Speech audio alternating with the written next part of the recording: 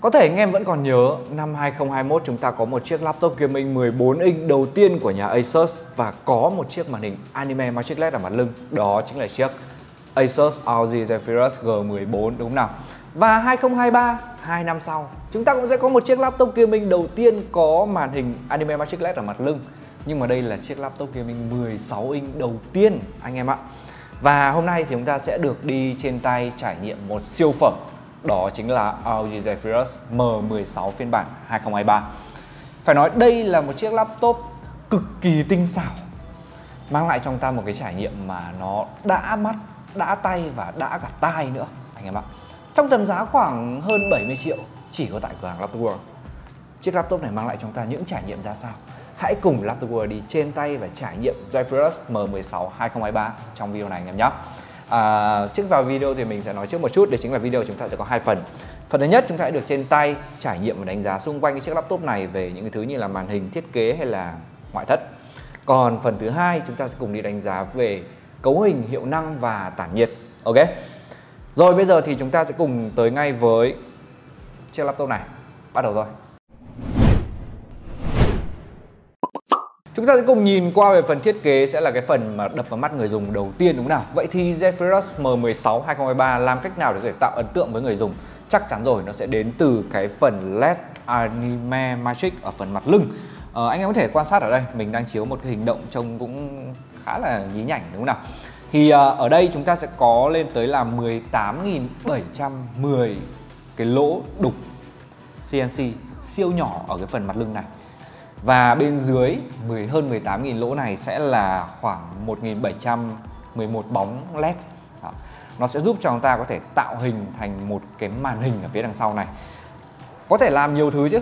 Chúng ta có thể ký tên, chúng ta có thể chiếu những cái logo, hình hoạt, chúng ta có thể cho nó nhảy theo điệu nhạc và vân vân. Rất nhiều thứ. Thậm chí là mình xem một số những ví dụ có thể chơi cả game ở trên này nữa chắc nó chỉ là những cái hoạt hình chơi game thôi chứ không phải là chơi game thực tế. Nhưng mà nói chung là nó rất cá tính và rất đẹp đúng không nào anh em?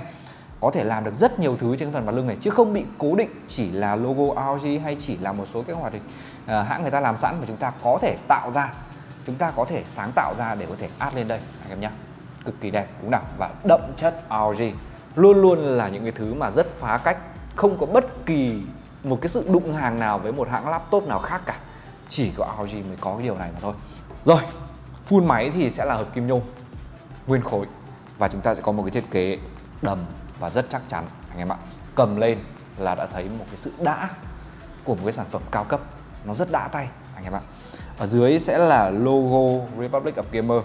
Nó đây gần như là cái phần logo dùng chung trên tất cả các dòng Zephyrus thì phải. Chúng ta sẽ bắt gặp ở trên tất cả các cái dòng Zephyrus có cái logo ở góc bên dưới này bên dưới này sẽ là cái phần mấu bản lề cũng như là một đường cắt nhỏ ở dưới này anh em nhé thì chúng ta có thể để ý là chúng ta sẽ có những cái miếng ốp mạ chrome đen bóng ở đây. Trông nó sáng và trông nó tinh xảo, nó đẹp cực kỳ. Mình thì mình không rõ là nó có bị dễ xước hay không nhá. Nhưng mà chúng ta dùng thì tất nhiên là với một cái sản phẩm cao cấp như này nên giữ gìn một chút. Đúng nào, bởi vì nó có rất nhiều các cái chi tiết bóng, anh em ạ. Chúng ta có thể nhìn qua cái cạnh dưới này, nó cũng được làm họa tiết bóng và có một cái thanh chạy ngang ở đây. Trông rất đẹp. Hay là cái phần viền xung quanh bao quanh màn hình họ cũng được sơn bóng. Mài cho nó bóng loáng lên. Soi gương được luôn. Nhìn ngang hay là nhìn thẳng nhìn ở bất kỳ góc độ nào thì đây cũng là một chiếc laptop cực kỳ tinh xảo anh em ạ. Rất đẹp đúng không nào anh em? Đó, mình rất là thích cái phần thiết kế viền bóng ở xung quanh này. Trông cực kỳ xịn luôn đó là với cái phần mặt lưng của máy. Nhìn ở phía bên dưới, mặt đáy, thì ở đây chúng ta sẽ có một cái thiết kế rất là ROG mà thôi, không có quá nhiều sự nổi bật. Sẽ là một cái g cao su cao ở đằng sau để có thể kê gầm máy này được cao nhất có thể. Và hai quạt tản nhiệt lớn hai bên, cộng với đó là một quạt tản nhiệt nhỏ nữa ở phía dưới này. Như vậy là với chiếc laptop này sẽ có tận là ba quạt tản nhiệt, anh em ạ. Thì với hai quạt tản nhiệt, nó giúp đưa nó giúp tản nhiệt cho CPU, GPU và VRAM ở bên trong này rồi. Còn với một quạt nhỏ này, nó sẽ giúp hút cái luồng khí mát đi vào và đưa nó đi khắp các cái linh kiện ở phía bên trong này. Thổi đẩy luồng khí nóng đi ra ngoài. Giúp tăng cái airflow của chiếc laptop này lên ở mức gần như là tối đa tại thời điểm hiện tại. Một chiếc laptop gaming mà cho chúng ta tản nhiệt cực kỳ hiện đại anh em ạ. Ok, bên dưới này sẽ là loa này. sẽ có trong ta hai loa ở phía bên dưới và sẽ có trong ta thêm hai giải loa ở phía bên trên ở cuối video mình sẽ nói thêm về loa và đây cũng là một trải nghiệm mang đến trong ta sự đã tai, anh em ạ vậy thì còn đã mắt ở đây là gì rồi thì đã mắt ở đây chúng ta có thể thấy là chắc chắn rồi, sẽ là cái phần màn hình Bây giờ chúng ta cùng đi vào từ phía bên trong của chiếc máy này sẽ là cái phần màn hình mà đây cũng phải nói là một trong những chiếc laptop gaming cho chúng ta màn hình đẹp nhất của 2023. Mình dám khẳng định với anh em luôn. Vì sao? Chiếc laptop này Zephyrus M16 2023 được sử dụng một công nghệ màn hình Nebula HDR của ROG và chúng ta sẽ có tấm nền mini LED. Chắc chắn rồi, nó phải là mini LED thì nó mới là đẹp nhất của 2023 chứ, đúng nào? Vậy thì cái màn hình mini LED này nó sẽ có những cái sự nổi bật gì ở trong đây? Đầu tiên phải kể đến chính là mức độ sáng của nó có thể đạt lên tới trong ta là 1100 nit. 1.100 nit trên một chiếc laptop không phải là một con số nhỏ nha anh em. Chúng ta thường ta biết đến những cái chiếc laptop có cái mức độ sáng màn hình khoảng 350 nit, 400 nit, 500 nit, 600 nit là cao lắm rồi. Đây là 1.100 nit dã man đúng là anh em? Đó chỉ mới là về độ sáng thôi. Về độ phân giải chúng ta sẽ có ở đây độ phân giải là 2K, tần số quét 240 Hz và độ phủ màu đạt cho chúng ta lên tới là 100% DCI-P3. Nếu như mà với những người dùng cơ bản 100% sRGB nó là quá đủ đúng không nào? Còn với những người dùng chuyên nghiệp chúng ta cần tới 100% DCI-P3 để nó mang lại cho chúng ta một cái độ phủ màu, một cái khả năng tái tạo màu sắc nó là rộng nhất để giúp cho những nhà làm phim chuyên nghiệp có thể cân chỉnh màu sắc các thứ của sản phẩm ở trên trực tiếp cái màn hình này để có thể tham chiếu trên cái màn hình này nó được chuẩn xác nhất rất xịn đúng không nào? Và cái mức delta e của cái màn hình này nó cũng sẽ chỉ loanh quanh khoảng 0,68 nếu mình nhớ không nhầm. Cực kỳ thấp. Dưới một rất thấp rồi. Đây nó chỉ có 0,68 quá ấn tượng đúng không anh em? Và đó là với um, một chút cái thông tin về màu sắc này. Chắc chắn là những cái chứng chỉ màu Pantone các thứ thì chiếc màn hình nó dễ dàng nó vượt qua. Và ở đây thì chúng ta sẽ có tiêu chuẩn màu ờ, uh, VESA Display HDR 1000 anh em nhé là một trong những chứng chỉ mà gần như là cao cấp nhất uh, được cấp ở trên những mẫu laptop mà mình đã từng biết đến. Thì chiếc màn hình này cũng có và nó cũng có cả Dolby Vision chứng chỉ Pantone thì cũng đã có hết rồi. Nói chung là mọi thứ nó có đủ hết cho chúng ta để có thể làm đồ họa một cách chuẩn xác nhất rồi. Vậy thì còn chơi game thì sao? Cái chiếc màn hình này nó có cho chúng ta tần số quét 240 Hz, có cho chúng ta độ phân giải 2K, chơi game 2K 240 Hz. Lúc này quá dễ dàng trên cái chiếc màn hình này. Tỷ lệ khung hình sẽ đạt trong ta là 16 chia 10, 2560 nhưng mà 600. Và để tối ưu cho trải nghiệm chiến game thì ở đây chúng ta sẽ có cái mức độ trễ nó sẽ chỉ là 3 mili giây mà thôi anh em ạ. 240 Hz và 3 mili giây. Thêm nữa là chúng ta cũng sẽ được tích hợp cả Nvidia G-Sync nữa anh em nhé thì với G-Sync nó sẽ hạn chế tối đa cái hiện tượng xé hình và giật lag trong khi chúng ta chiến game mang lại một trải nghiệm nó toàn diện nhất cho chúng ta một chiếc màn hình phải nói thật là rất ấn tượng đúng là anh em và chúng ta muốn làm cái gì ở trên này cũng được mini led cực kỳ đẹp. Và đây là một chiếc màn hình đẹp nhất của 2023 sau khi mà mình quan sát qua màu sắc các thứ thì nó tươi rực rỡ đẹp và rất là rõ ràng. Độ tương phản để đạt lên tới cho chúng ta là 100.000 chia 1 anh em nhé không phải là ba mươi mấy nghìn chia 1 nữa bây giờ nó là 100.000 chia 1 vậy thì làm sao để đạt được một cái độ tương phản nó lớn như thế? Đó chính là vì nhờ cái tấm nền mini led đó anh em. Ở đây chúng ta sẽ có lên tới là 1024 cái bóng mini led siêu nhỏ ở phía bên trong này. Đó, nó giúp cho cái độ đen tức là mỗi khi mà nó hiển thị cái màu sắc màu đen ấy, thì ở vị trí những cái bóng led đó nó sẽ được tắt đi hoàn toàn và màu đen lúc này nó cực kỳ sâu. Và nó có thêm những cái công nghệ hạn chế phát quang nữa giảm thiểu tối đa. Cho nên là nó sẽ không bị ảnh hưởng bởi những cái bóng led bên cạnh đang được phát sáng. Chính vì thế mà cái độ tương phản bây giờ nó được đẩy lên mức cực kỳ cao anh em ạ rất ấn tượng đúng là anh em? À, và đó là một chút cái thông tin về cái màn hình này cho anh em có thể nắm được. Nói chung là rất nhiều công nghệ mà LG đã mang lên đây cho chúng ta một chiếc màn hình xịn sò như thế trong một cái mức giá nó cũng phải đáng đồng tiền bát gạo đúng là anh em? Cái phần viền màn hình thì được làm rất mỏng anh em nhé phải nói là một sản phẩm cao cấp viền màn hình làm như này là cho chúng ta một cái độ cao cấp trông thấy rồi đấy. Bên trên sẽ có trong ta là webcam sẽ có trong ta micro thoại và đây là ba micro. Ngoài ra nữa sẽ có cho chúng ta cả camera IR hồng ngoại để có thể quét khuôn mặt. Và với webcam sẽ cho chúng ta độ phân giải là Full HD rất là sắc nét. Cũng sẽ có trong ta công nghệ chống ồn AI Noise Cancelling. Ở phía đằng sau này sẽ có trong ta một cái micro nữa này. Đấy, để có thể thu âm để có thể hỗ trợ trong ta chống ồn. Nói chung là rất đầy đủ. Chúng ta cùng nhìn từ phía bên dưới sẽ là cái phần à, khe thoát gió tản nhiệt. Ở đây thì à, sẽ có một số anh em đắn đo rằng là liệu rằng khe thoát gió nó thổi vào phía đằng sau này thì nó có ảnh hưởng gì tới màn hình lâu dài hay không. Thì tất nhiên rồi các kỹ sư của Asus đã phải tính toán rất là kỹ anh em ạ. Lý do vì sao mà họ lại làm cái hình vát như thế này? Hình vát hình thoi như thế này. Để uh, họ có thể phân chia cái luồng gió ra thành hai hướng thổi xuống dưới và thổi dọc theo mặt màn hình lên phía bên trên. Hạn chế tối đa cái luồng gió nóng thổi thẳng vào mặt cạnh đáy màn hình.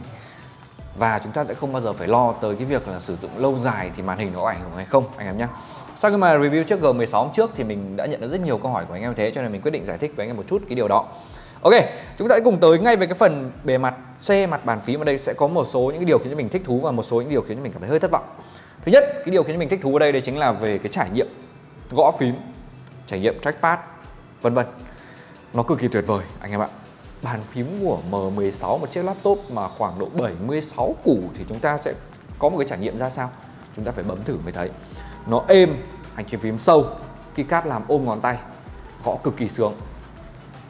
Wow, rất sướng anh em ạ và nó được đặt cân đối vào chính giữa. Rất nhiều anh em thích cái điều này lược đi giải phím số phụ bởi vì nó không cần thiết và đặt một cái phím cân đối vào rất chính giữa như thế này thì mang lại một trải nghiệm cân đối và thích thú cực kỳ luôn đúng không nào? Cái phần trackpad thì cũng được đặt vào chính giữa luôn kích thước rất là lớn lướt rất là mượt nói chung là miễn chê rồi. Nhưng mà có một điều mà mình cảm thấy chưa thực sự, chưa thực sự là thích thú ở cái phần mặt xe này, anh em biết là gì không? Đấy chính là cái led RGB anh em ạ. Chúng ta có led RGB, đúng. Nhưng mà chúng ta sẽ chỉ có led RGB một vùng. Tại sao trong một cái sản phẩm cao cấp như thế mà chúng ta chưa được trang bị led RGB per key? Bảy mươi mấy triệu. Mình không nghĩ là cái led RGB nó, per key nó có thể đắt tới vậy và không thể trang bị trên một cái sản phẩm như thế này, đúng không nào? Hơi tiếc, chỉ có một vùng nếu mà bốn vùng nhìn nó giật giật thì hơi phèn thật, nhưng mà nếu như mà Perky thì nó sẽ đáng đồng tiền bát gạo hơn rất là nhiều chỉ là một cái điều nhỏ thôi nhé, là mình cảm thấy chưa được sự thích không? Có đâu thì mọi thứ về trải nghiệm trên này rất tuyệt vời và rất ok rồi anh em ạ. Ok, hai bên này sẽ là hai giải loa và nó có một chút về loa nhá. Hai bên trên này sẽ là hai loa twitter, bên dưới sẽ là hai loa woofer.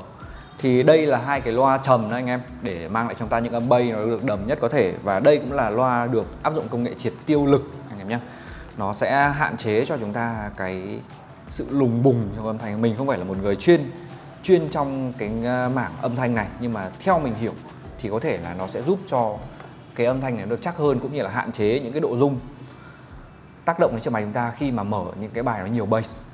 Ví dụ thế. Vậy thì uh, trải nghiệm loa ra sao? Cái máy này được tích hợp sẵn là Dolby Atmos rồi cũng như là một cái hệ thống loa nó khá là xịn sò như thế trong tầm giá khoảng 76 triệu đồng thì phải nói thật là loa ở chiếc laptop này là một trong những chiếc loa trải nghiệm rất là hay, phù hợp cho những người mà edit video mà chúng ta muốn sử dụng loa ngoài hoặc là chiến game chúng ta muốn sử dụng loa ngoài thì cũng có thể nghe được hướng ở ngay trực tiếp trên con loa luôn. Những công nghệ nó cực kỳ thông minh, giả lập âm thanh 3D anh em ạ. Ok, rất thông minh, anh em nhé à, thì à, đó là một chút thông tin về loa cho anh có thể nắm qua được. Ngay bây giờ chúng ta cùng liệt kê qua một chút về thông số cấu hình của cái chiếc laptop này sẽ là một thứ mà khiến cho anh em khá là quan tâm đúng nào? Thì phiên bản này mang cho anh em là phiên bản khá cao cấp. Ở đây chúng ta có i9 13900H và con CPU chúng ta cũng chưa được trên tay lần nào đúng nào? Chúng ta có 14 nhân và 20 luồng trong đó chúng ta có có là 6 nhân hiệu năng cao và 8 nhân tiết kiệm điện. RAM của máy được lắp đặt là RAM 32 GB bởi hai thanh DDR5 nhưng mà có thể tháo ra và thay thế nâng cấp hoàn toàn lên 64 GB anh em nhé với cái lượng băng thông trên máy sẽ là 4008 MHz đó là về RAM SSD cho phiên bản này sẽ là SSD 1TB PC Gen 4 cũng như là phiên bản card đồ họa đây sẽ là RTX 4070 GDDR6 với 8GB RAM và 140W điện. Đó là với cái thông số của sản phẩm này. Nếu như mà anh em thực sự quan tâm về hiệu năng chi tiết thì chắc chắn rồi, chúng ta sẽ có trong phần 2. Anh em đừng quên subscribe channel Laptop World để có thể biết thêm nhiều thứ hơn về hiệu năng tản nhiệt của chiếc laptop này, anh em nhé.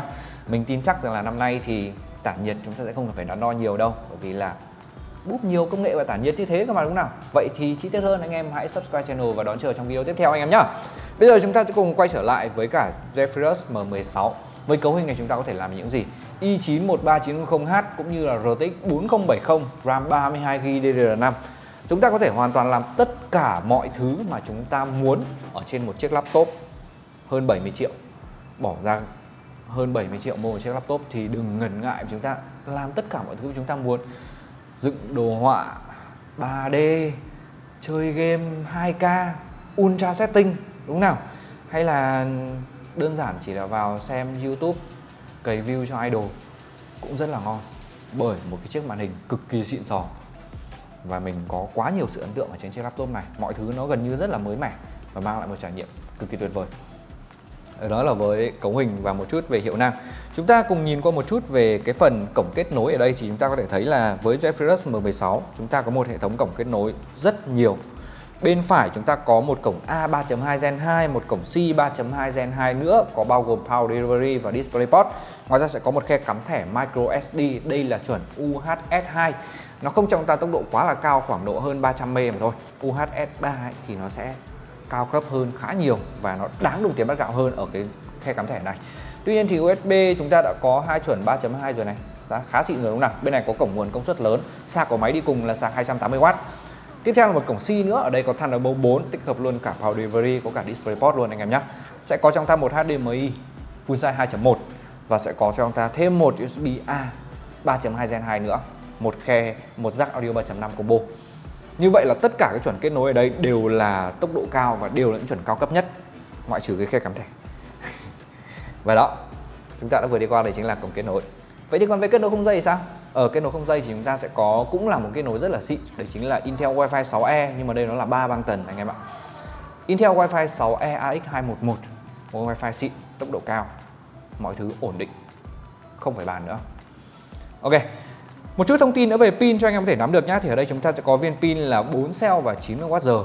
Với một viên pin 4 cell, chúng ta mình nghĩ là chúng ta có thể trụ tốt trong khoảng độ 5 cho đến 6 tiếng đồng hồ với những tác vụ nhẹ nhàng, cơ bản không dùng quá nhiều về hiệu năng của máy ví dụ chúng ta render video chúng ta chơi game hay là chúng ta làm những cái thứ liên quan đồ họa thì CPU hay GPU sẽ phải gồng gánh nhiều lúc này sẽ phải bơm nhiều điện vào hơn thì tốn pin hơn đúng không nào thì chúng ta có thể sử dụng ở những tác vụ như kiểu lướt web nhẹ nhàng cơ bản, hoặc là xem phim offline, giảm mức độ sáng màn hình, bởi vì màn hình rất sáng, rất tốn pin, chúng ta có thể giảm mức độ sáng màn hình, thì nó sẽ tối ưu hơn cho chúng ta về thời gian trải nghiệm hơn rất là nhiều, anh em nhé à quên mất còn một cái thứ nữa, đó chính là em máy này có Nvidia Advanced Optimus cũng như là Mux Switch. Cho nên là anh em có muốn quẩy game FPS được tối ưu nhất ấy, thì chúng ta cứ bật Mux Switch lên, lúc này nó sẽ ngon hơn rất là nhiều, xuất hình ảnh trực tiếp từ card đồ họa 4070 lên màn hình 2K nó sẽ tối ưu hơn so với cả việc chúng ta phải xuất qua một cái card đồ họa tích hợp đúng không anh em ok đó là những cái thông tin mà mình muốn mang đến cho anh em về chiếc Zephyrus M16 phiên bản 2023 vậy thì à, nếu như mà mình còn nói thiếu gì thì hẹn anh em trong phần 2 chúng ta sẽ cùng nói thêm về cái chiếc laptop này anh em nhé. Còn bây giờ thì hy vọng là anh em sẽ ná lại một chút cho Laptop World một like, một sub cũng như là nhấn vào nút chuông để không bỏ lỡ video mới nhất và hãy để lại cảm nghĩ của anh em phía bên dưới bình luận video này anh em nhé. Và xin chào và hẹn gặp lại anh em trong những video tiếp theo.